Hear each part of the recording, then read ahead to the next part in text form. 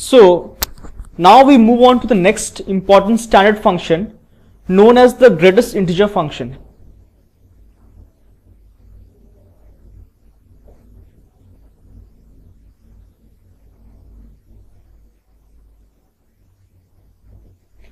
This greatest integer function is denoted by box x.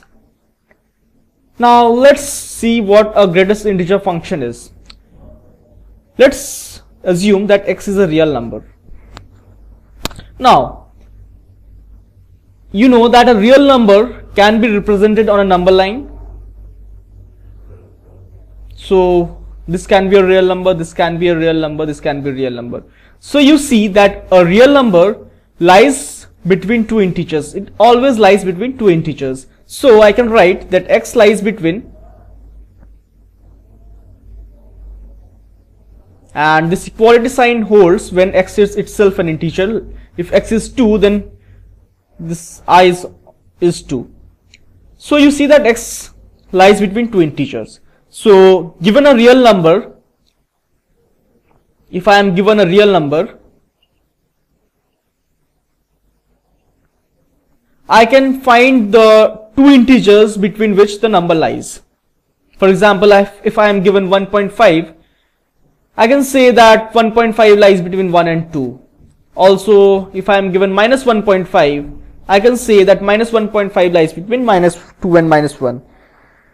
That means, given any real number, we can always find an integer i so that the given real number x is always greater than or equal to i. If I am given any real number, I can always find an integer i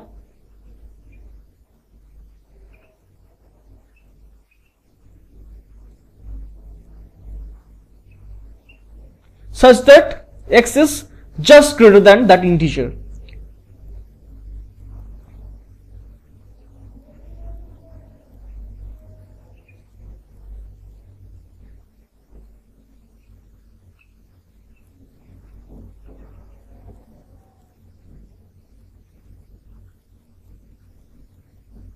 or you can say I can always find for given a real number I can always find i such that this condition holds now that integer i is called the greatest integer function.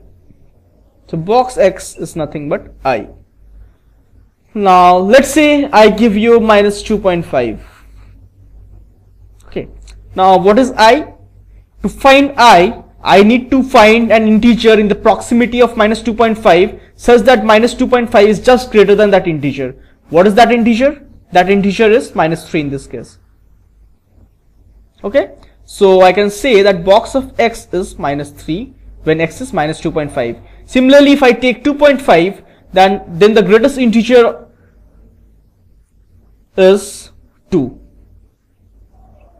because 2.5 is just greater than 2 and less than 3 okay? So this is box function. Now similar to box function we have something called fractional part of an integer, a fractional part of a real number.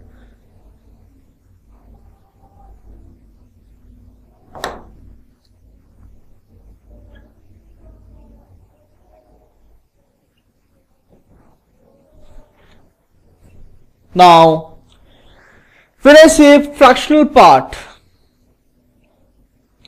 what comes to your mind?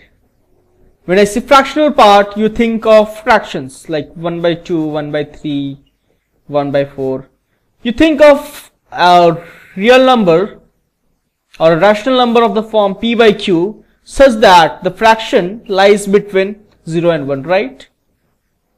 Because when you think of fraction, you think of something in the form of a numerator and denominator which is in between 0 and 1. Okay?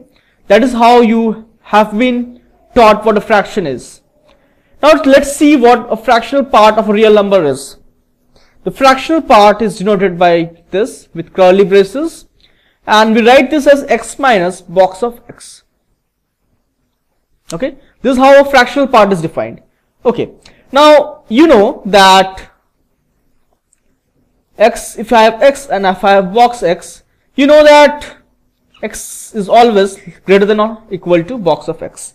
This is because if x is an integer, then box s, x is equal to x. If x is not an integer, to find box x, I will take the integer which is less than x, but is the greatest integer which is less than x. So this condition is always true. Okay. Now let's say I have a real number x here. I have integer here. I have an integer here. This is i plus 1. This is i minus 1. This is i and this is i minus 1. This is what? This is box x, right? This is how we define the greatest integer function. Now you see that this i, this is x, x minus 1 will lie somewhere here.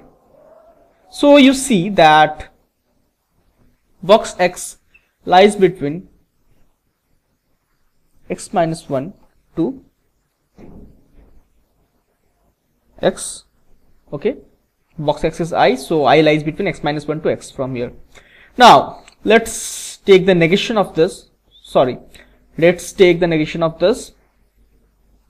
That means what I mean is just multiply with the minus sign. So if I multiply with the minus sign this extremities gets interchanged. So I'll have this minus of box x less than 1 minus x. Now add x to all the three parts then I'll get 0 here I'll get x minus box of x. Less than 1 what is this? This fractional part of x. So you see that fractional fractional part of